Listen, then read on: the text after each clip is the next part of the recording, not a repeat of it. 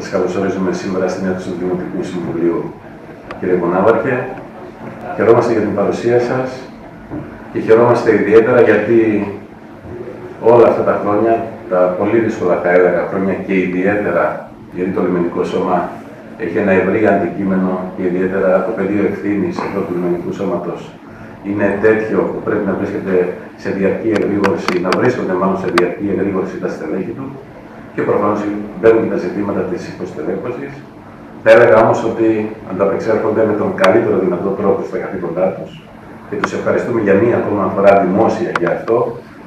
Θεωρώ ότι η συνεργασία του λιμενικού σώματος με την τοπική αυτοδιοίκηση διαχρονικά και τώρα βέβαια είναι άψογη, είναι υποφελία του τόπου, υποφελία του δημόσιου συμφέροντος και υποφελία της πατρίδας μας.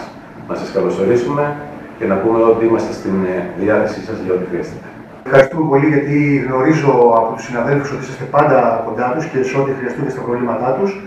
Εμείς από την μεριά μας θα κάνουμε ό,τι μπορούμε για να ενισχύσουμε ε, τους συναδέλφους που προετούν σε αυτό εδώ πέρα το, το δύσκολο, το δύσκολο λιμεναρχείο. Ε, Φέτος από ό,τι ακούσαμε η τουριστική κίνηση πήγε πολύ καλά ε, και η Μαρίνα και τα σκάφη και ο κόσμος εξυπηρετήθηκε. Αυτό θα συνεχίσουμε να κάνουμε.